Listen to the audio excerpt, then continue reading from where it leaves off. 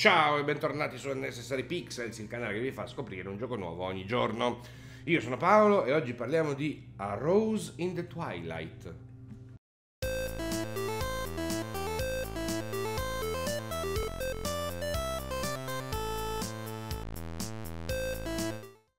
Che cos'è questo A Rose in the Twilight? Una ragazza, una, bambina, si sveglia con la maledizione delle spine sulla schiena in un castello privo di colori e di tempo. Libera un gigante e assieme questi due personaggi cercheranno di trovare l'uscita. Questa è la storia di Rose in the Twilight e mi piaceva raccontarvela prima di dirvi che è un adventure puzzle con dei puzzle ambientali in cui dovremo guida, prendere il controllo alternato di questi due eh, personaggi per portarli verso, a trovare l'uscita. Eh, perché la storia è centrale in Rose in the Twilight? Eh, le meccaniche sono piuttosto semplici. Alterneremo il controllo tra i due personaggi. I due personaggi hanno delle abilità differenti. Il gigante è grosso, può trasportare gli oggetti, eh, può difendersi dal, dai nemici, è immune agli attacchi dei nemici. La ragazza eh, invece ha la maledizione de, delle spine sulla schiena che, di, che, le permetterà di assorbire del sangue e eh, infondere il sangue che ha assorbito in delle cose o delle, delle cose o dei, per del nemi, delle creature questo le attiverà, le sbloccherà dalla stasi in cui si trovano e dovremo sfruttare questa abilità, mm, queste, le abilità di questi due personaggi per arrivare all'uscita. Cosa funziona di questo Rose in the Twilight? Funziona l'estetica. L'estetica è bellissima.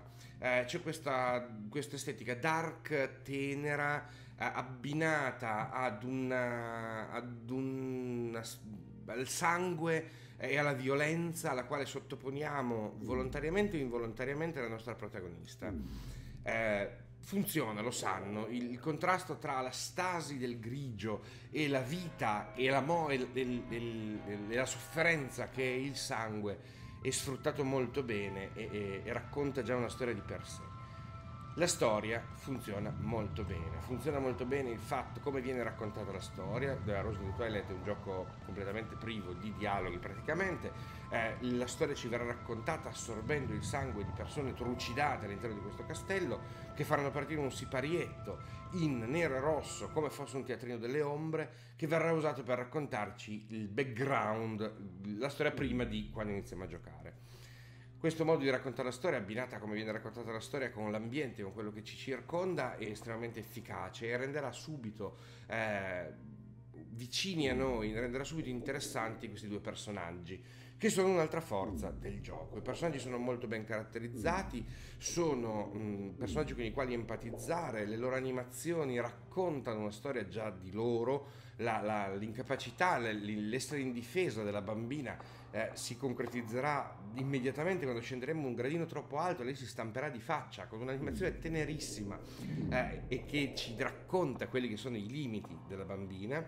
Eh, animazioni che funzionano molto bene, nonostante siano estremamente lente, ci chiede di ragionare eh, a Rosary Twilight, non corre da una parte all'altra facendo delle prove, proprio perché eh, anche il suo gameplay è un gameplay che ci chiede di ragionare. Il, la, la, ragazzina potrà assorbire una sola carica di sangue e rilasciarla, quindi finché non l'avrà lasciata non potrà mm. prendere il sangue da nient'altro, quindi non potrà frizzare nient'altro, il che vuol dire che un nemico è gestibile perché gli portiamo via il sangue e lui si blocca, due nemici no, perché assorbiamo il sangue del primo, ma il secondo continua a muoverci mm. e muoversi noi non possiamo fare niente.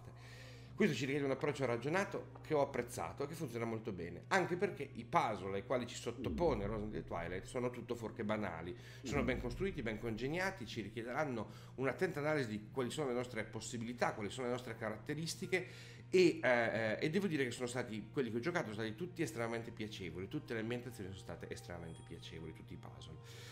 Funziona il fast travel, il fast travel è mh, mm, disponibile all'inizio, ci potrà trasportare in qualunque punto a nostra scelta, all'inizio di qualunque stage a nostra scelta, per andare a recuperare delle macchine di sangue, dei ricordi che magari non abbiamo recuperato, minimizzando la frustrazione del backtracking. È molto efficace nel backtracking a Rosy Twilight e questo l'ho apprezzato moltissimo.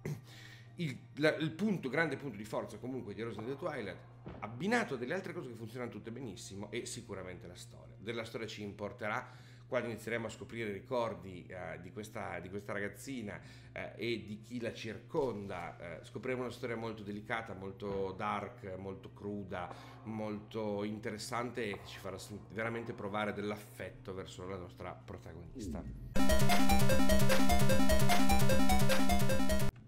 Il limite più grosso è il fatto che stiamo parlando di quella che è una conversione da console portatile e quindi i limiti tecnici ci sono a livello di, di definizione, a livello di eh, proprio risoluzione di numero di cose a schermo e comunque ci sono dei limiti tecnici che per il primo momento saranno estremamente apparenti, estremamente visibili che verranno persi poi nel gameplay, nella storia, nell'ambientazione, in tutto il resto. Però non si può negare che comunque i limiti tecnici ci siano.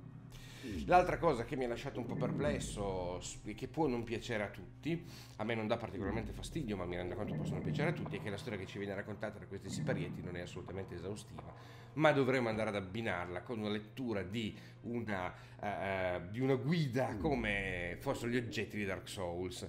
Uh, e quindi dovremo, volendo approfondire la storia, dovremo andare a leggere del testo, che è assolutamente eh, opzionale, che non richiede assolutamente di essere fruito per continuare nel gioco, come in Dark Souls ma che comunque eh, sarà diciamo la scelta più meno entusiasmante tra quelle possibili per raccontare la storia.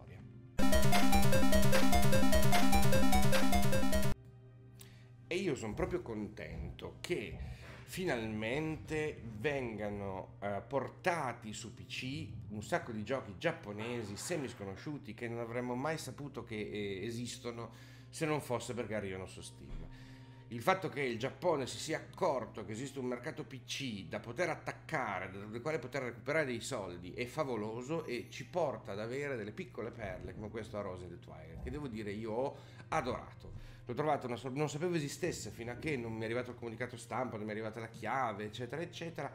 È stata una sorpresa piacevolissima. Assolutamente consigliato per quel che mi riguarda e per quel che riguarda i miei gusti. Costa 20 euro su Steam, è stato sviluppato da Nipponici io vi ringrazio per aver seguito questo video, noi ci vediamo al prossimo, ciao!